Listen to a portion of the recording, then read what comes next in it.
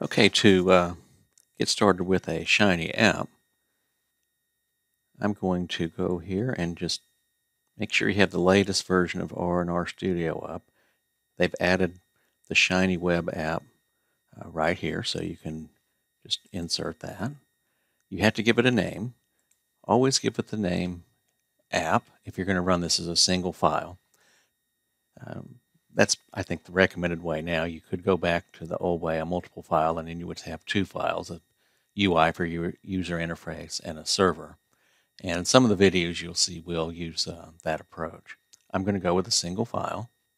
And then you have to tell it what directory. You have to have a folder already set up for this. And you can see that I, I do. I had my desktop and then Shiny, a folder that, that a, a folder I already had, and then example one, which is where I'm going to put this. And so you have to select that folder and create. And you can see it opens up a file here. This is the default. This is on every computer that you have. So there is a Shiny app. And if you click Run App, it will run that app.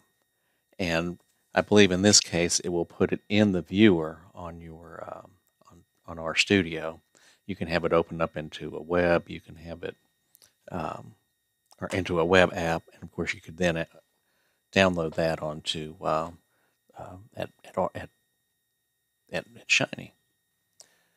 So I'm just going to click Run App, and you can see that it has it over here. And I'm going to make that a little bit bigger here. Um, actually, to really get the view of it here, I'm going to do this. And so this is the app that uh, is here, and it has the, some data on eruptions of uh, Old Faithful uh, Geyser in, uh, in Yellowstone. And it just has a histogram of it, and we're looking at what happens when you change the number of bins for your histogram. So you just slide that, and you can see what it looks like if you have different numbers of bins. Okay, so that's what this particular app does uh, a pretty simple uh, app, but that's all we want to really get to in this case. So let's just look now at what the uh, uh output said. And you can see uh, it looks like it's on the top and bottom, but really on a web page, it's going to show up like this. That's just because of the sizing here. Okay, so to do this, just give you the basic uh, layout of a Shiny app. Um, you have to load the Shiny library. If you haven't installed the package yet, you'll have to do that. And then the first part just says we're going to do a user interface. And this part's always the same. UI equals Shiny UI fluid page. That doesn't change. Okay, then you can give it a title. And the command for that is title panel. And then in parentheses, you would tell it the, uh, the title. I'm sorry, in parentheses and quotations, the title. Don't forget your commas at the end. And then the next thing it has here is sidebar with slider input. So first of all, it says sidebar layout. That's going to put this number of bins thing on the left-hand pane when you have the whole thing expanded there. And slider input, you give it a name, bins. Then you're going to give it what you want it to print out here, number of bins and then I've given it a minimum value of 1 and a maximum value of 500 of 50 and a starting value of 30. Just you just have to tell it where to start out the first time and then when people change it that will change. And then a main panel and that's where you're going to show the histogram. So main panel plot output that's going to stay the same if you're plotting a graph there. And then distribution plot is what you want to name this plot.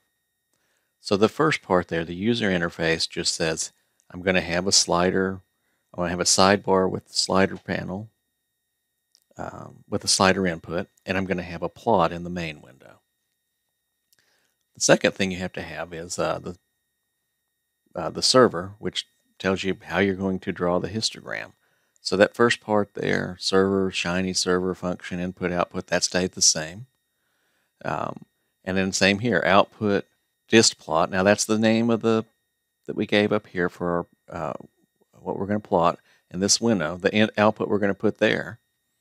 Um, back down here. Output dist plot is we're going to render the plot, and then it's got some open parentheses and curly parentheses, and inside these curlies, we're going to put our R code. X, and a lot of people, when they write R code, instead of putting an equal sign, they put this less than sign with a minus sign there. That means assigned to, but yeah, people might laugh if you put an equal sign, but it'll do the same thing. Faithful is just a data set that's in R. It's a default data set for, uh, for old uh, faithful. And we're looking at the second column. Uh, it's what that comma 2 means, row co column uh, 2. Bins, they're just defining the, uh, the, the bins that we're going to go from the minimum X to the maximum X. And we're going to have, uh, have that there. And then we're going to draw the histogram histogram x breaks equal these bins. You really wouldn't have, well, any, so, so you have that. And then you're going to give it a color and a border and then finish that out. And then the last thing you have to do is have this shiny app statement.